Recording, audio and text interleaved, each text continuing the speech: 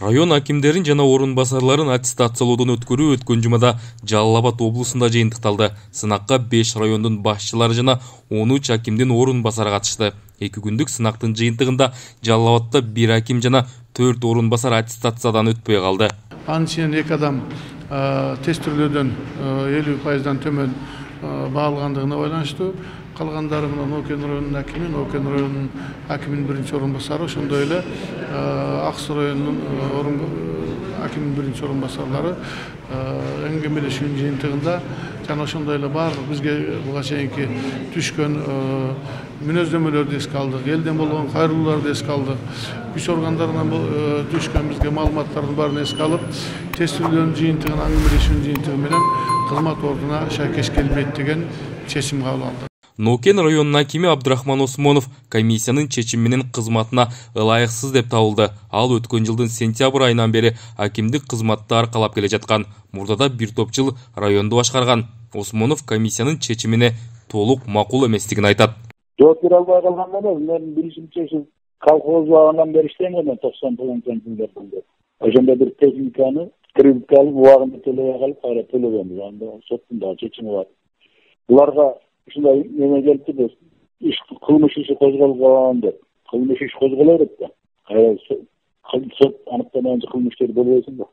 чамасы ошолор себеп болду ошол себеп болду сузак районунун эки орун басары жүйөлүү себептерден улам сынакка катыша алышкан жок тогуз тороо районунун акиминин биринчи орун басары уланбек иманбердиев жана чаткалдын акиминин орун басары асель чынасова тесттен жетиштүү упай ала албай баштапкы этапта эле кулап калышты нокен районунун акими биринчи орун басары өтпөй калды дебедимби ушулардын аркасынан элден алынган иликтөөлөр да бар экен мындай аброю э, жакшы эмес деген дагы маалымат бар экен. Анан мурунку иштеген учурларында азыркы учурларда дагы атайын кызматтар мына укук коргоо органдарынан маалыматтар бар экен. Ар түрдүү э, ушундай туура эмес мыйзамсыз иштерге аралашкан деген. И аксынын дагы биринчи орун басары жөнүндө ушундай экен. Нарын облусунда буга чейин өткөн аттестациялоонун жыйынтыгында жумгалдын акими залкарбек бозбалаев ат башы районунун акиминин орун басары динара жунусова жана нарындын акиминин орун басары ишенбек муканбетовго ээлеген кызмат ордуна шайкеш келбейт деген чечим чыккан ал эми баткен облусунда баткен районунун акими акылбек урозов алтымыш суроонун жыйырма тогузуна гана туура жооп берип экинчи турга өтпөй калган лейлек районунун акими бекмурат баймуратов биринчи баскычтан өтүп экинчисинен кулаган жетекчилер коомчулук менен иштешүүнү жакшы алып барганы менен мамлекеттин мыйзамдарын анчейин билбегендиги аныкталды мамлекеттик кызматкерлерге ошондой окууларды уюштуруу керек экен себеби эми